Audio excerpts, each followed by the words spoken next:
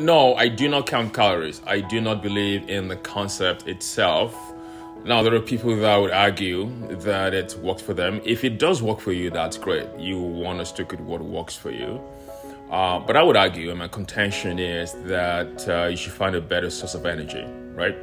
In ketones, okay? And to do that, you could use intermittent fasting and or focus on ketogenic diet, right? Which is high protein, high fat, and very low carb. So uh, ultimately, what that means is you're using fat as your source of energy and not glucose. And in saying that, you do not necessarily not have to worry about counting calories.